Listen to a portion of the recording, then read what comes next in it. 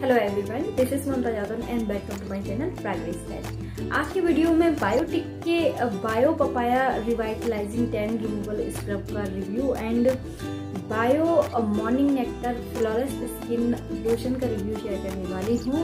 और आज का ये वीडियो जो है रिक्वेस्टेड वीडियो है तो सबसे पहले पूजा, अगर आप इस वीडियो को देख रही हैं तो I am so sorry video इतना डिले हो गया। Okay coming to the point इस स्क्रब को मैंने काफ़ी लॉन्ग टाइम तक यूज़ किया है so I'm ready to give my review so without any further do start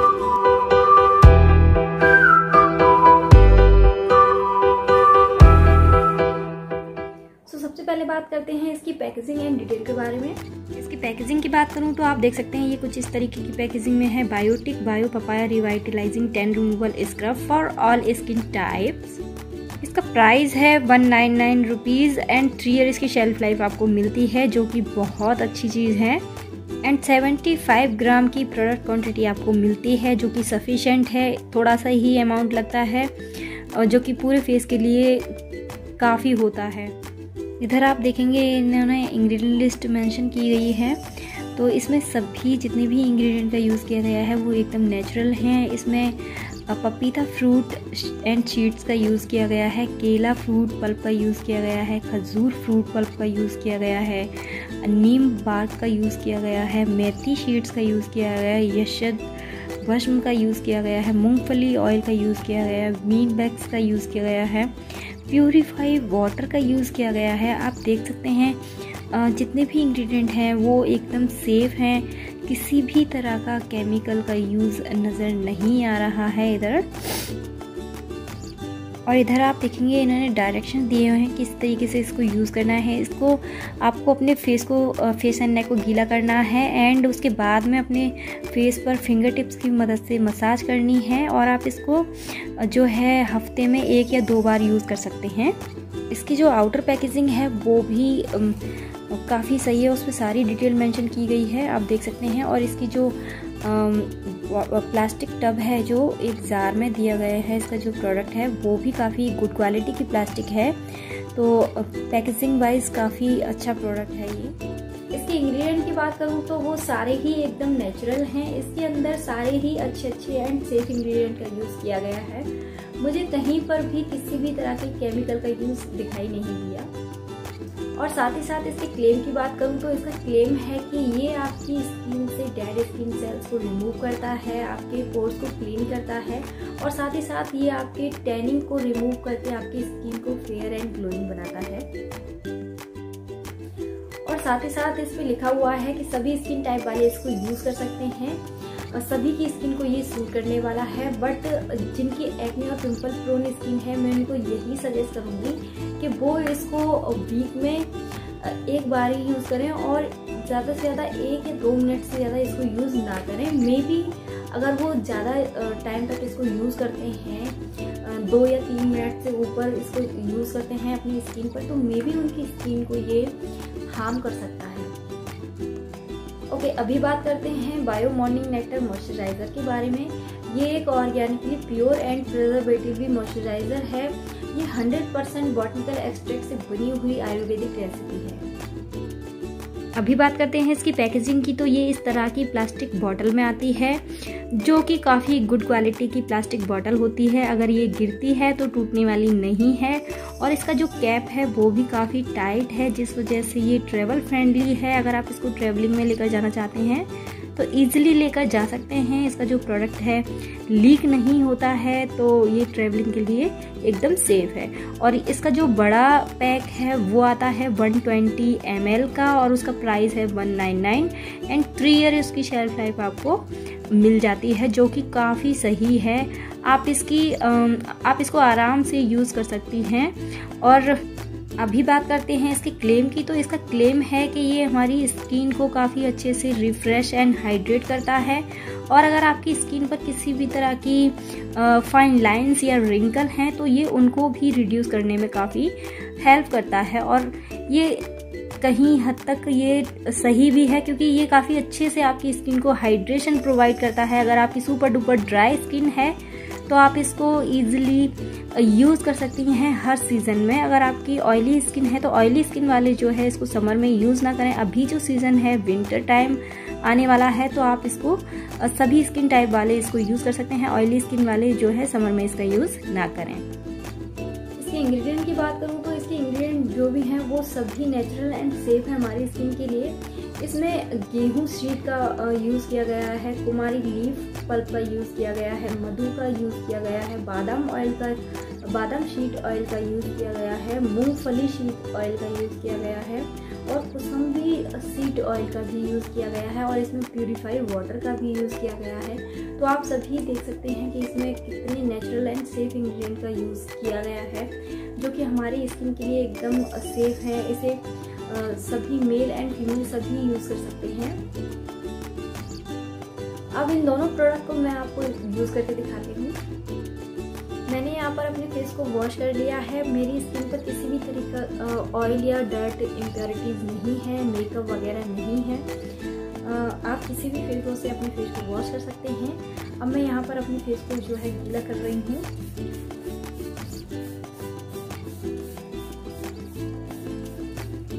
आप स्क्रब करने से पहले अपनी स्किन को अच्छे से गीला कर लें। सूखी स्किन पर कभी भी स्क्रब का यूज़ ना करें। अदरवाइज़ आपकी जो स्किन है, वो डैमेज हो जाएगी। मैं यहाँ पर स्क्रब का यूज़ कर रही हूँ। यहाँ पर ये जो लिड है, वो इधर दी गई थी जो कि इसमें है अभी। और हाइजीन पर्पज से काफ़ी सही है। आप देख सकते हैं, ज़रा सा ही प्रोडक्ट बचा है। इसका जो टेक्सचर है, वो काफ़ी थिक है। रनी टेक्सचर नहीं है, थोड़ा सा थिक है इसका टेक्सचर ये देखिए। और काफ़ी क्रीमी है ये। बहुत ही कम क्वांटिटी लगती है इसकी। थोड़ा सा थिक है इसका टेक्सचर काफ़ी और इसकी जो स्क्रब पार्टिकल्स की बात करूँ मैं तो वो बहुत ज़्यादा माइल्ड हैं, बहुत ज़्यादा माइल्ड जो कि होनी चाहिए किसी भी स्क्रब में। यूज़ करें ताकि आपकी स्किन को ज़्यादा हार्श ना हो वो और अच्छे से डेड स्किन सेल्स को रिमूव कर सके। तो थोड़ा सा ही लगता है ये प्रोडक्ट ज़्यादा नहीं लगता है, आप देख सकते हैं। मैं ज़रा सा लिया था आपको दिखाया था मैंने। तो उसी से मेरे पूरे फेस पर जो है अच्छे से स्क्रब हो जाएगा। थोड़ा सा मैं यहाँ पर इसको गीला कर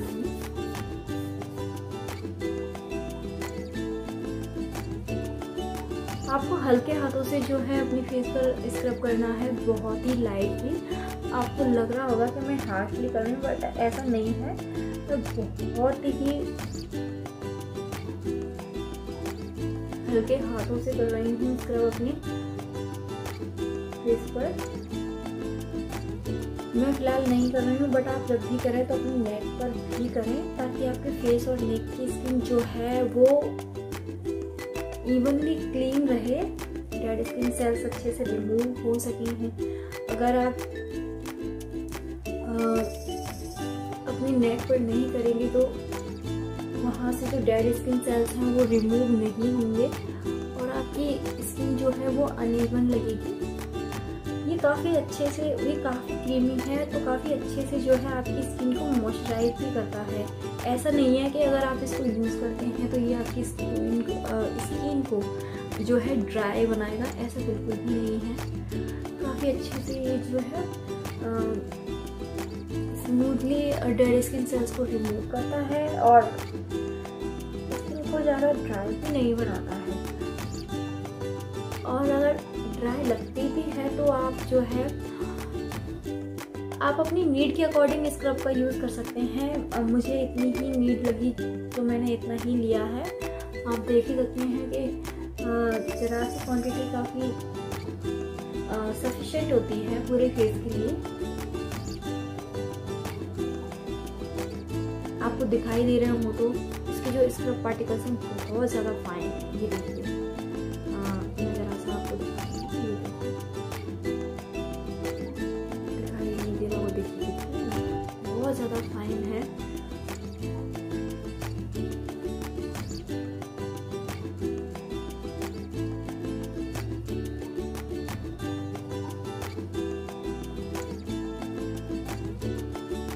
हल्के हाथों से सर को, और अगर आपको लगता है कि ड्राई हो रहा है आपका फेस तो आप जो है फिर से पानी ले सकते हैं अपनी स्किन को क्लीन करने के लिए। मैं लास्ट में अपने लिप्स पर भी इसी से स्क्रब कर लूँगी, क्योंकि जो मेरे लिप्स पर भी थोड़ी बहुत डेड स्किन सेल्स हैं, वो रिमूव हो जाए। ये काफ़ी अच्छे से आपके डेड स्किन सेल्स को रिमूव करता है बट इस पर जो क्लेम है कि ये टैनिंग को रिमूव करता है तो मैं उसके बारे में इतना अच्छे से अभी नहीं बता सकती हूँ, क्योंकि मेरे फेस पर किसी भी तरह की टैनिंग मुझे नहीं हुई है।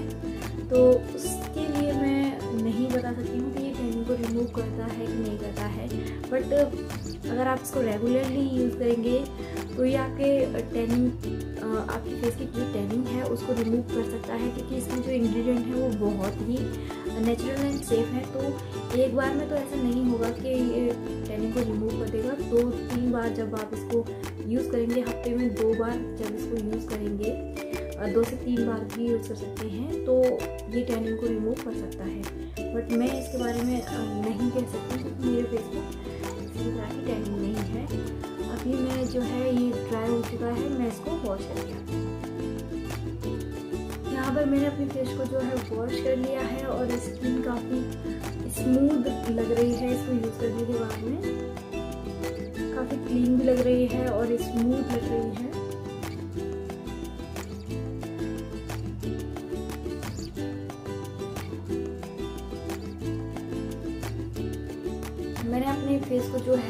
पैड ड्राई कर लिया है और स्किन काफ़ी स्मूथ लग रही है बट फिर भी आप जो है इसका पढ़ने के बाद में इसका टोनर यूज़ करते हैं तो इसका यूज़ कर सकते हैं अदरवाइज़ किसी भी ब्रांड का टोनर या फिर रोज़ वाटर यूज़ कर सकते हैं। और फ़िलहाल मैंने रोज़ वाटर का यूज़ किया था, अब मैं यहाँ पर यूज़ कर रही हूँ बायो मॉर्निंग नेक्टर मॉइस्चराइज़र इसकी फ्रेग्रेंस फ्रेग्रेंस काफ़ी अच्छी है। बाय द वे इसकी जो क्यूट सी पैकेजिंग है, ये इसको मैंने परचेज नहीं किया है। ये मैंने जो बायोटिक की शॉपिंग की थी परचेजिंग की थी, उस पर मुझे फ्री मिला था। और इसका जो है बड़ा साइज़ आता है तो आप उसको परचेज कर सकते हैं। ये ट्रैवलिंग के लिए काफ़ी बेस्ट है, इसीलिए मैंने इसको संभाल के रखा हुआ है। सेम इसकी बड़ी पैकेजिंग आती है सेम ऐसे ही।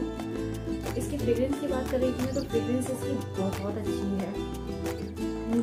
अच्छी लगती है इसकी फ्रेग्रेंस और इसका जो टेक्सचर है, वो जैसा होना चाहिए मॉइस्चराइज़र का, वैसा ही है। ना तो बहुत ज़्यादा थिक है और ना बहुत ज़्यादा रनी है। टेक्सचर इसका बहुत सही है। और अब मैं इसको जो है अपनी फेस पर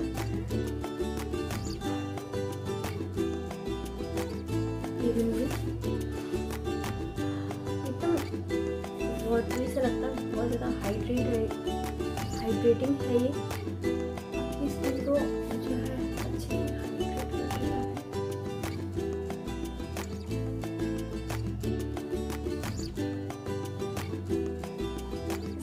बाद में मॉइस्चराइज़र ज़रूर अप्लाई करना चाहिए।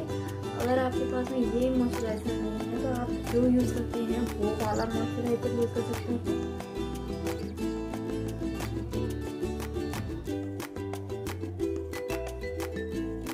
बट आप अपनी स्किन को अच्छे से मॉइस्चराइज ज़रूर करें।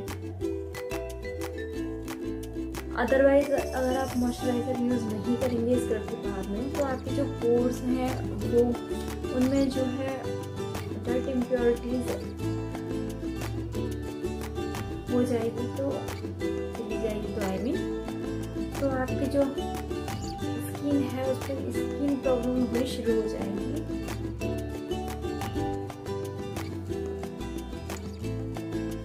ओपन पोर्स को जो है क्लोज करने के लिए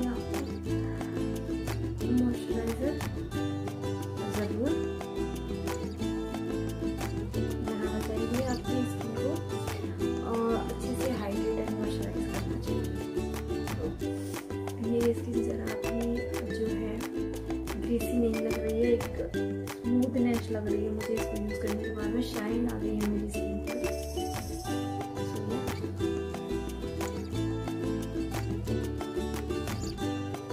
और अगर आपने लिप्स पर भी स्क्रब किया है तो हमेशा अपनी लिप्स को जो है स्क्रब के बाद में लिप्स को भी जो है मॉइस्चराइज करें। लिप बाम से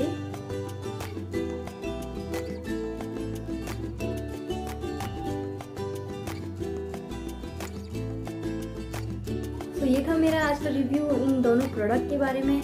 अगर वीडियो आपको ज़रा भी हेल्पफुल लगा हो अच्छा लगा हो तो वीडियो को कर देना एक लाइक और चैनल को कर लेना सब्सक्राइब फ्रेंड्स एंड फैमिली के साथ में शेयर भी कर देना और बेल आइकन को भी प्रेस कर देना ताकि मैं फ्यूचर में जो भी न्यू वीडियो अपलोड करूँ, उसकी नोटिफिकेशन आपको मिलती रहे और आप मेरी किसी भी वीडियो को मिस ना कर पाएँ। Thank you thanks for watching